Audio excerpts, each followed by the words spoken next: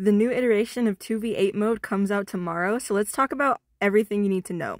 Starting off, we're going to talk about cages. So instead of um, a survivor being stomped into a cage, instead they're going to have to be picked up, and this gives flashlights more of a prominent, I guess, thing in 2v8 mode because before flashlights couldn't really do much to save a survivor. So they did bring back flashlight saves. So before, um, when a killer got near a cage, the cage would teleport to another part of the map, and this was causing some issues because the survivor would be right there, and then it would get moved. So to fix this, instead, if the survivor is nearby, the cage won't get moved, and when the killer is nearby, you unhook 15% faster.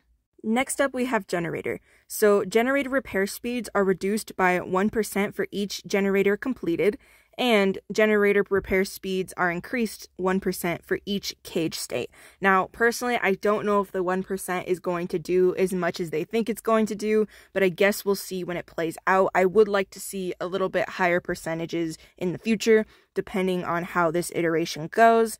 In addition, generator auras are only revealed to killers within a certain range, and two survivors working on the same generator will be revealed to killers with no range limit. The new map additions are going to be Family Residence, Dead Dawg Saloon, Father Campbell's Chapel, Rancid Abitur, can't say that one, and the Wreckers' Yard map. Now, for the killers, we're getting the Blight, so he has an increased rush speed, an increased slam duration, and an increased turn rate. Also, Blight can bounce off of their killer counterpart. Next, we have the Spirit, and she has increased phase duration, increased phase recharge rate, and increased phase movement speed. And I'm very excited about this because I do play some Spirit from time to time. Last, we have the Deathslinger. So he has decreased reload time and increased reel speed. Now let's get into killer classes. In addition to the new iteration, any killer can run any class they want, just like any survivor could have ran any class they want, but two killers cannot run the same class. So starting off, we have Shadow. So when within 32 meters of a teammate, you gain undetectable. Injuring a survivor transfers the undetectable effect to your teammate instead. The ability has a cooldown of 30 seconds. Also, when your teammate initiates chase with a survivor, reveal the survivor for an additional 4 seconds. Let's move on to Brute. So, perform the break action 25% faster. Doing so grants a teammate within 32 meters 10% haste for 8 seconds. When damaging a generator, reveal survivors within an additional 8 meters. The next one we have is Enforcer. Move 3% faster when chasing an injured survivor. When a teammate within 32 meters hits a survivor, they are marked and have their aura revealed to you for 12 seconds. Putting that survivor into the dying state grants your teammate a 60% ledge increase for 15 seconds.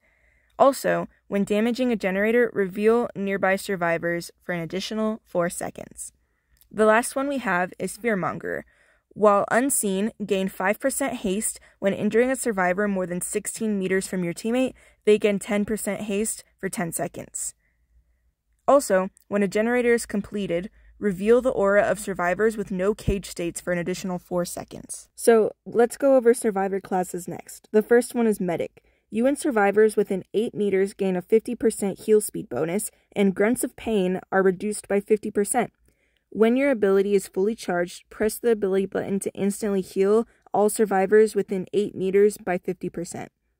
Also, reveal the aura of injured survivors within 128 meters, and your unlock ability would be while injured, your scratch marks are suppressed and your aura is revealed to all other survivors. I know I just threw a whole lot of words at you, and I'm sorry. That's why I put chapters in the description so you could listen to what you wanted to.